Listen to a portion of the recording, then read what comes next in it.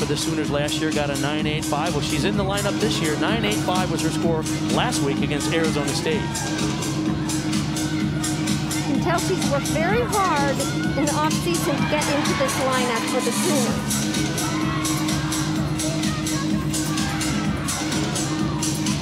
You can tell there's a little, a, slight lack of confidence, I think, in just her movements. Like, I'm hoping to make it,